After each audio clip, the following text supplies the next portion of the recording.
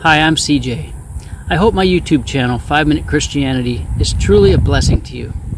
Just want to call attention to one little thing.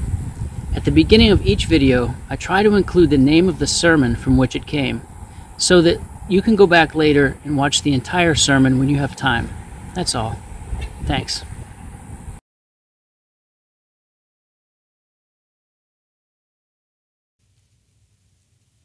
An irreligious, immoral government that cares nothing about God and nothing about His law will self destruct in the disintegration of its own godless complacency.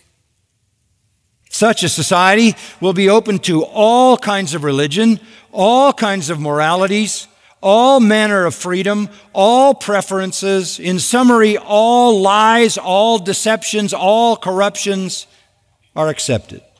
That society will lose control of everything. It will lose control of everything. Chaos will begin to take over, and the only way the chaos will be slowed down will be when dictatorial control, or maybe even a police state, is formed where thought and behavior is fixed, and anybody out of bounds is punished. Eventually, the chaos has to be controlled. We're not headed toward socialism.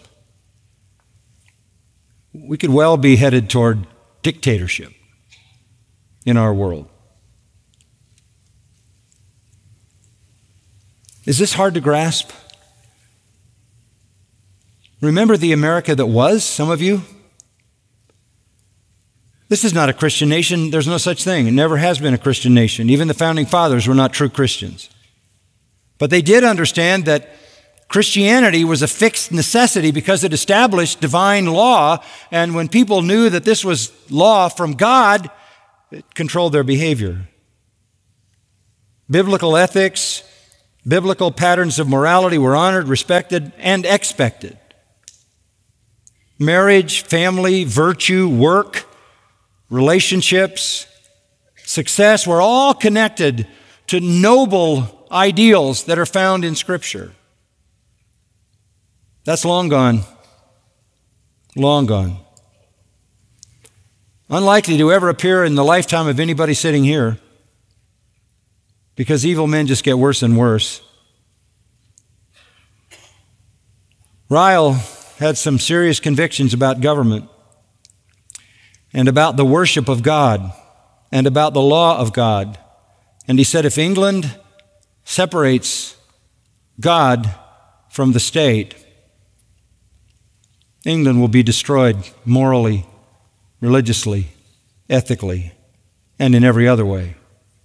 It is today an absolute wasteland, spiritually speaking. You drive a massive wedge between the state and the church, and you're going to end up with modern Europe and the United States. Is that progress?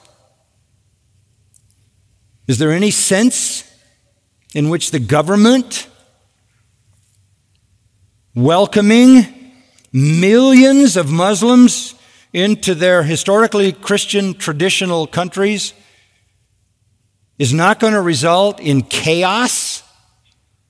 Because now you have the collision of a traditional Christian morality, a very different Muslim morality, and a fast developing immorality. Everything is out of control. Removing the acknowledgement of the true God, the authority of the Bible, the voice of the true church, the moral education of youth, and the elevation of the Bible and the gospel, removing that is the path to destruction. And it's a downhill run.